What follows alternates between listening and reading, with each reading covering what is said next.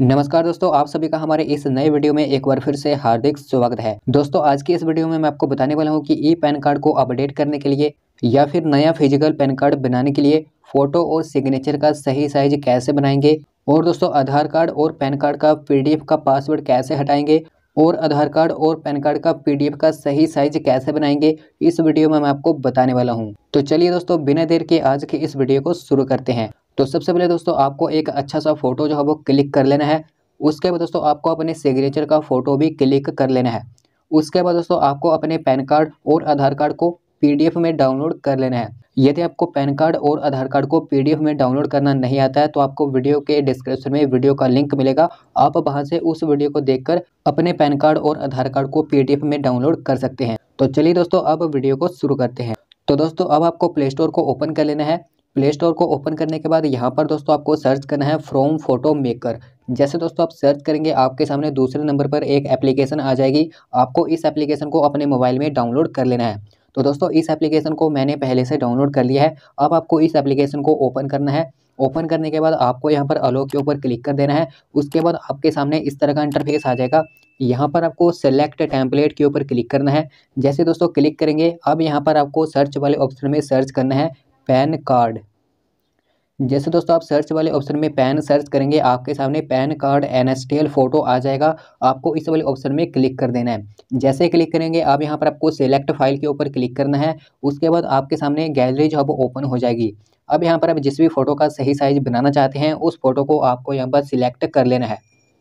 अब यहाँ पर आपको यहाँ पर एक ऑप्शन मिलेगा। यहाँ से आप अपनी फ़ोटो को एडजस्ट कर सकते हैं।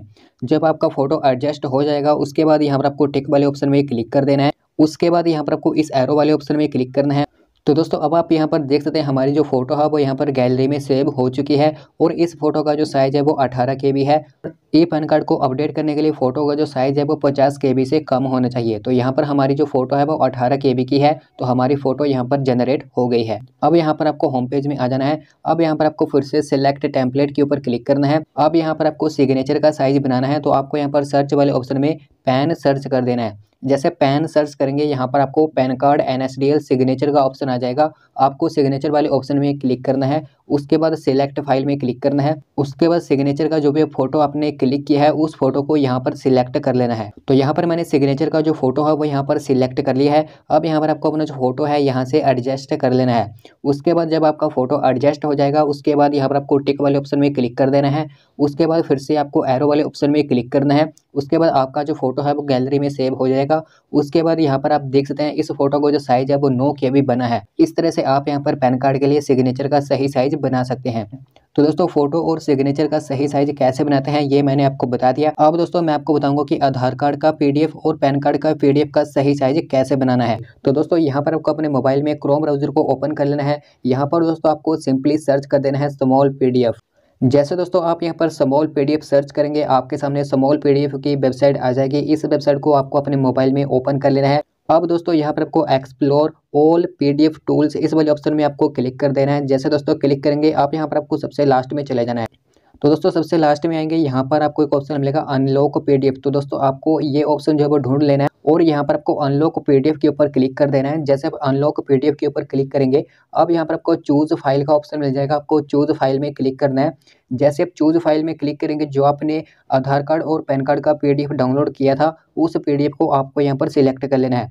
तो सबसे पहले मैं आधार कार्ड का पीडीएफ सिलेक्ट कर लेता हूँ। अब यहाँ पर आपका जो पीडीएफ है, यहाँ से अपलोड हो जाएगा। तो दोस्तों, यहाँ पर आप देख सकते हैं, हमारा जो पीडीएफ है अपलोड हो चुका है। अब यहाँ पर आपको टिक वाले ऑप्शन में टिक लगा देना है। उसके बाद यहाँ पर आपको अनलॉक पीडीएफ के ऊपर क्लिक करना है। जैसे आप अनलॉक पीडीएफ के ऊपर क्लिक करेंगे, अब यहाँ पर आपको अपना पीडीएफ का पासवर्ड डाल देना है। तो दोस्तों, आपके पीडीएफ का जो भी पासवर्ड है, वो आपको यहाँ पर एंटर कर देना है। तो दोस्तों, यहाँ पर मैंने अपने पीडीएफ का जो पासवर्ड है, वो यहाँ पर एंटर कर दिया है। अब यहाँ पर आपको रियली अनलॉक के ऊपर क्लिक कर देना है। जैसे आप क्लिक करेंगे, आपके पीडीएफ का जो भी पासवर्ड होगा, वो यहाँ से रिमूव हो जाएगा। अब यहाँ पर आपको पीडीएफ को कॉम्प्रेस करना होगा, जिससे आपका जो पीडीएफ है, उसका जो साइज़ है, वो कम हो जाएगा। अब यहाँ पर आपको पीडीएफ को कॉम्प्रेस करने के लिए सिंपली कॉम्प्रेस के ऑप्शन पे क्लिक कर देना है। जैसे क्लिक करेंगे, अब यहाँ पर आपको कॉम्प्रेस पीडीएफ के ऊपर क्लिक कर देना है। जैसे आप कॉम्प्रेस पीडीएफ के ऊपर क्लिक करेंगे, अब यहाँ पर आपको थोड़ा सा वेट करना है। उसके बाद आपकी जो फ़ाइल है वो यहाँ पर रेडी हो जाएगी।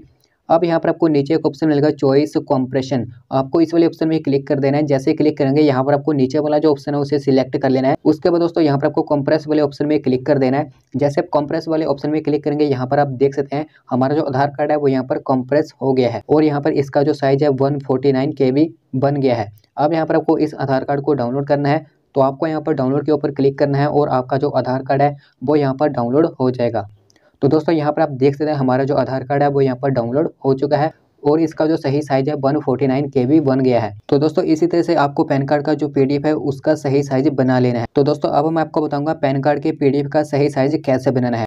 अब यहाँ पर आपको फिर से इस वाले ऑप्शन में क्लिक कर देना है। जैसे आप इस ऑप्शन के ऊपर क्लिक करेंगे, अब यहाँ पर आपको नीचे के साइड में स्क्रॉल करना है। यहाँ पर आपको एक ऑप्शन मिलेगा अनलॉक पीडीएफ। आपको अनलॉक पीडीएफ वाले ऑप्शन में क्लिक कर देना है। जैसे आप क्लिक करेंगे, यहाँ पर आपको चूज़ फ़ाइल में क्लिक करना है। चूज़ फ़ाइल में क्लिक करेंगे, यहाँ पर आपको फ़ाइल में जाना है। और आपको पैन कार्ड का जो पीडीएफ है, उसे यहाँ पर सिलेक्ट कर लेना है। दोस्तों, यहाँ पर आप देख सकते हैं, मेरा जो पीडीएफ है, यहाँ पर अपलोड हो चुका है। अब यहाँ पर आपको टिक वाले ऑप्शन में टिक लगा देना है। उसके बाद यहाँ पर आपको अनलॉक पीडीएफ के ऊपर क्लिक करना है। जैसे आप अनलॉक पीडीएफ के ऊपर क्लिक करेंगे, आपके पीडीएफ का जो भी पासवर्ड है, वो आपको यहाँ पर एंटर कर देना है। पीडीएफ के पासवर्ड को एंटर करने के बाद यहाँ पर आपको रियली अनलॉक के ऊपर क्लिक कर देना है। जैसे आप रियली अनलॉक के ऊपर क्लिक करेंगे, आपके पीडीएफ में जो पासवर्ड होगा, वो यहाँ से रिमूव हो जाएगा। उसके बाद दोस्तों, आपको अपने पीडीएफ को कंप्रेस करना है तो आपको यहाँ पर कंप्रेस वाले ऑप्शन के ऊपर क्लिक कर देना है। उसके बाद यहाँ पर आपको कंप्रेस पीडीएफ के ऊपर क्लिक कर देना है। उसके बाद दोस्तों, आपका जो पीडीएफ है, इस तरह से आ जाएगा। उसके बाद यहाँ पर आपको चूज़ कंप्रेशन के ऊपर क्लिक करना है। जैसे आप क्लिक करेंगे, यहाँ पर आपको दूसरे नंबर वाले ऑप्शन के ऊपर क्लिक कर देना है। उसके बाद यहाँ पर आपको कंप्रेस के ऑप्शन पे क्लिक करना है। जैसे दोस्तों कंप्रेस के ऑप्शन पे क्लिक करेंगे। अब दोस्तों, आपका जो पीडीएफ है, इस तरह से आ जाएगा। अब दोस्तों, आप यहाँ पर देख सकते हैं, हमारा जो पीडीएफ है वन नाइनटी नाइन का बन गया है।